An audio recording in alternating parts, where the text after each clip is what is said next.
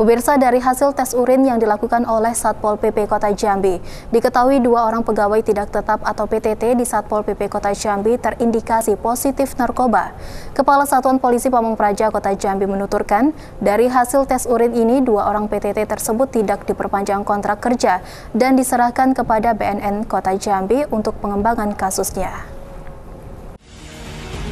Beberapa waktu lalu, Satuan Polisi Pamung Praja Kota Jambi telah melakukan tes urin narkoba bagi para anggota Satpol PP Kota Jambi, baik bagi pegawai tidak tetap atau PTT maupun ASN.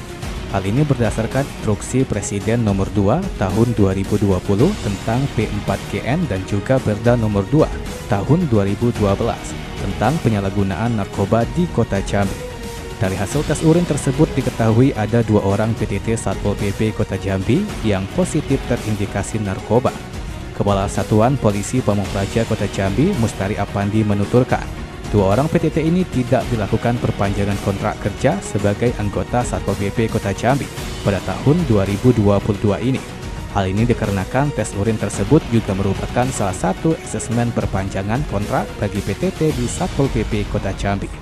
Mustari juga mengatakan kedua PTT yang terindikasi narkoba tersebut akan diserahkan kepada Badan Narkotika Nasional atau BNN Kota Jambi untuk pengembangan kasus ataupun lain sebagainya. Kait hasil urin uh, yang dilakukan oleh satu satuan polisi Pampanya bekerja sama dengan Badan Narkotika Nasional Kota Jambi, memang didapatin ada dua yang terindikasi dan juga sudah dilakukan diberikan surat rekomendasi dari BNN kepada kita dan pelaksanaan itu adalah asesmen terakhir dari anggota PTT.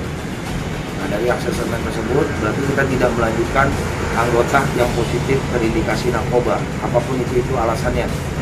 Karena untuk setelah kita berhentikan nanti ya itu tergantung dari BNN apakah mau dikembangkan atau tidak itu terserah. Jelas mereka tidak kita lanjutkan kembali dan kita uh, sudah sampaikan surat bahwasanya yang bersangkutan tidak dapat melanjutkan untuk anggota satu polisi Pampanga di tahun 2022 ini.